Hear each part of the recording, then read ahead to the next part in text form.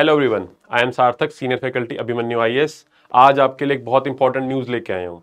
As you all know H S के interview 10 अक्टूबर को complete हो जाएँगे।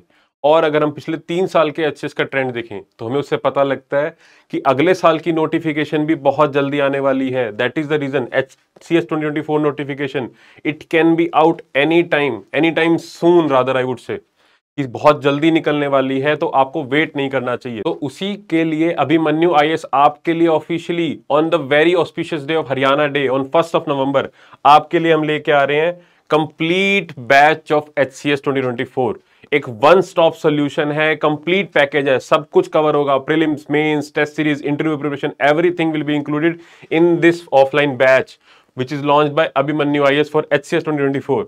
So, enroll as soon as possible. आपको कोई भी इंक्वायरी है, नीचे डिस्क्रिप्शन बॉक्स में आपके लिए सब कॉन्टैक्ट नंबर हमने वहाँ पे ड्रॉप कर दिया है। वहाँ पे कॉल कीजिए, अपनी क्वेरी को रिजॉल्व कीजिए और एज सुन एज पॉसिबल इस बैच के अंदर एनरोल कीजिए। एंड बिकम अपने जो ड्रीम है आपका एक एच सी एस ऑफिसर बनने का, उसको फुलफिल कीजिए। So with this I wish you all very good luck thank you have a nice day